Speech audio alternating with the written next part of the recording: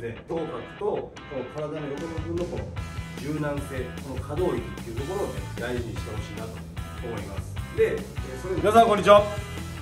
大久保バッティングセンターチャンネルの大原です。今回ですねバッティングで下半身の動きから連動して上半身につながっていくんですけどそこで大事なところっていうのを詳しくお伝えしたいと思います。それではやっていきましょう。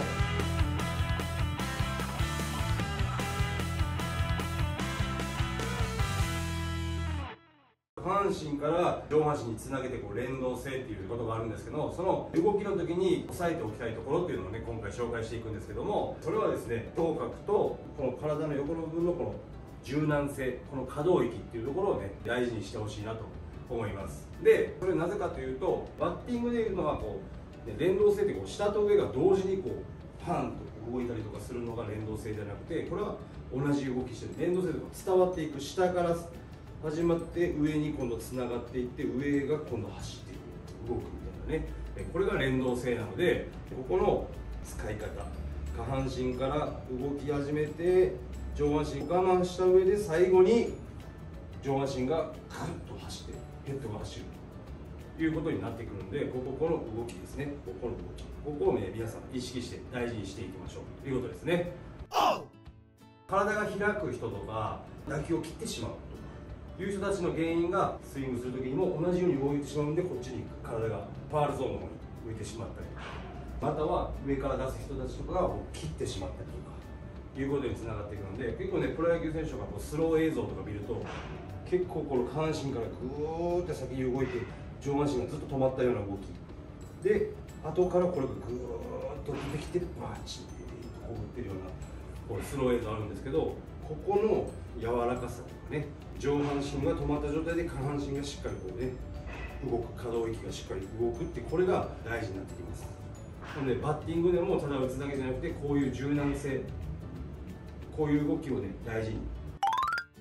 連動性これを意識することで何が良くなるかっていうと変化球の対応につながったりまたはこう際どいところを見逃す時の選球眼にもつながっていく。下半身は常に同じ動きをしていくのでそこから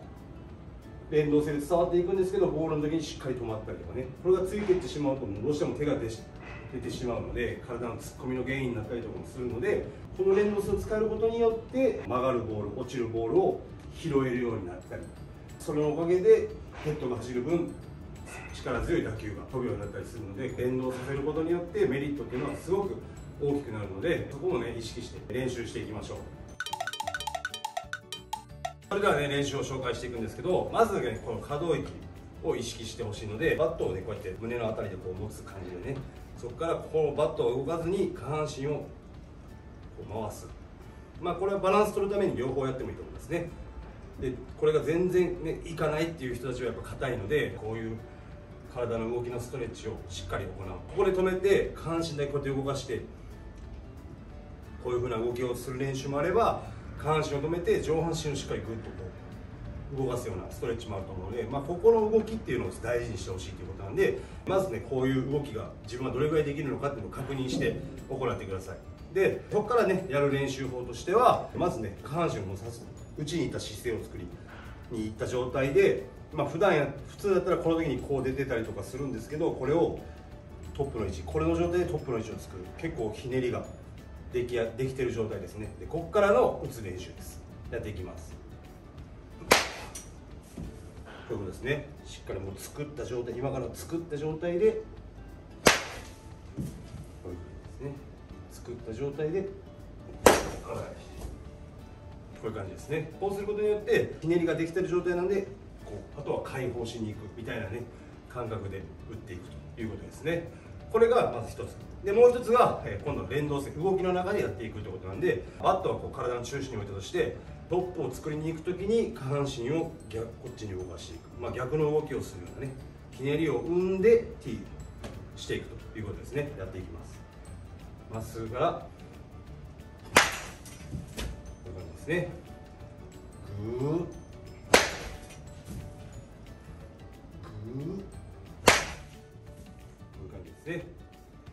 連動性、あ、こここから逆の動き。結構ねしんどいというかうんってきつい感じにすると思うんですけどその時はねやっぱり可動域が小さくなってる証拠だと思うのでねちゃんとストレッチも行った上でやってください。じゃあ最後に合わせてやっていきたいと思います。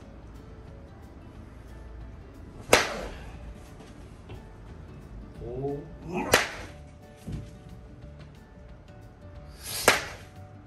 はい。こういう感じで、まあ、いつもと違うところはやっぱり1個間があるっていうことですね。普段やったら足上げてついたらトン！って振るところが足上げてつくとついてから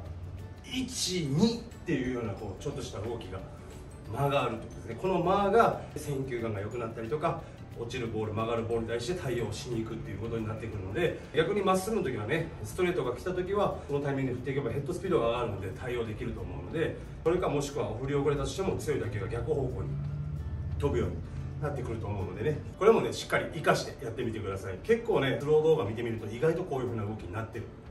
のが多いと思います。でもその感覚の中で自分はこう上と下は一緒にやってる感じです。っていう人もいるんですよね。自分の映像を見るってことも大事なんで。そそれで、えー、逆にね一緒に回ったりしてるってことはやっぱ体の開きが多いと思うので、えー、そこを見た時にあもうちょっと粘った方がいいなっていうのでこういう練習を取り入れてやっていくっていうのもねいいと思うのでね皆さん、えー、試してやってみてください。この動画が良かったと思った方はグッドボタンそしてチャンネル登録の方もよろしくお願いします。次回もお楽しみに。それでは失礼します。